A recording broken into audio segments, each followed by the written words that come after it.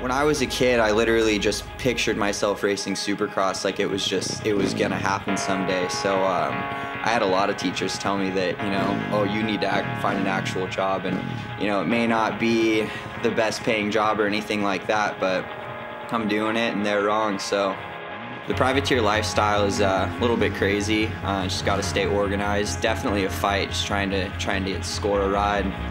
I just keep reminding myself of where I want to end up, and that just naturally fuels the fire.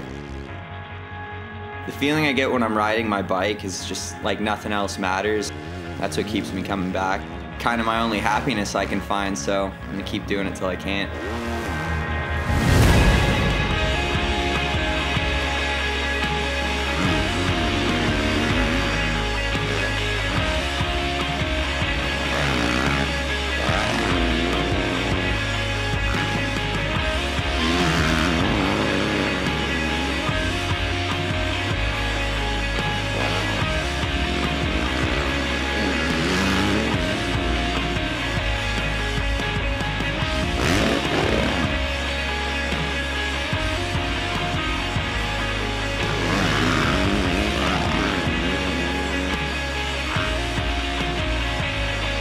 I'll keep racing for as long as I possibly can. I mean, it's uh, everything I've ever wanted to do since I was little, so just try and keep that vision and keep on going.